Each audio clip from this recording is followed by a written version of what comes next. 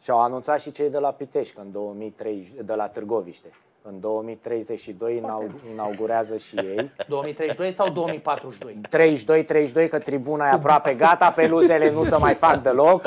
Uh, deci un, uh, uh, acoperișul de la oficială să termină în living la Casa Armatei acolo. Deci e un proiect foarte... Foarte da, apetisant. Da, și au iar un lucru interesant în România, dacă te dai cu Sania, îți dai drumul cu Sania pe acoperișul stadionului, ieși în casă pe la cercul militar și vor închiria ca, și ca pârtie.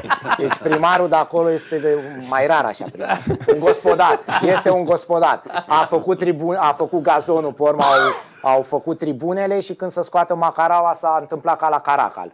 Da, nu, nu au mai avut de să scoată macaraua. Nu, și au zis, domne, mai bine nu, nu, nu, demo, nu, nu demontăm, nu mai facem peluzele și o scoatem pe acolo. Și așa a rămas.